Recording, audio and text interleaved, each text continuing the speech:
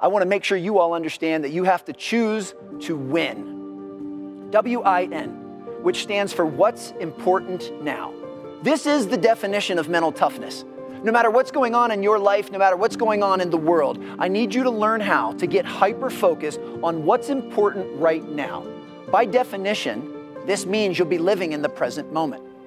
See, everything that I've shared with you so far about mastering and paying attention to the basics, especially during those unseen hours, about what you need to do to foster the three most important relationships, those mantras that you need to live by, you know, the, the ability to dish out 10 assists every single day all of these things can only be done to the best of your ability if you live in the present moment. And the short definition of living in the present moment is learning how to be where your feet are.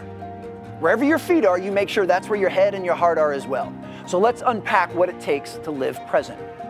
First and foremost, you have to learn how to move to the next play. No matter what happens in life, you need to be able to quickly refocus your lens and move to the next play. The next component of living present is learning how to focus on the controllables.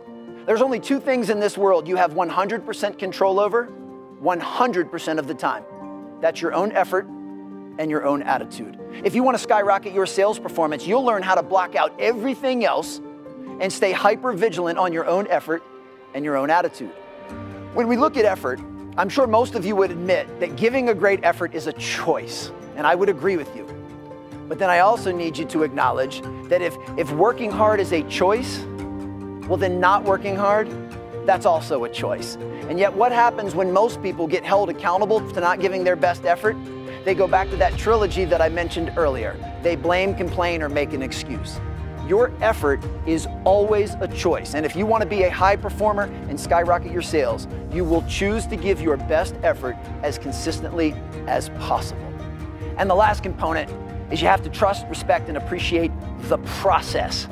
See, I know you all have outcomes that you desire, but in order to get to those outcomes, you have to build some micro steps and a process that will greatly increase your chance of reaching that desired goal.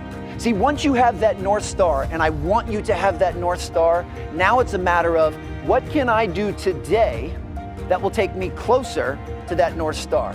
What can I do right now that will inch me closer to the goal I'm trying to reach? So we have to trust and respect and appreciate the process. With that, I will take a virtual bow. Hopefully, you can see my contact information. If there's ever anything that I can do for any of you, please don't hesitate to reach out. It would be my honor.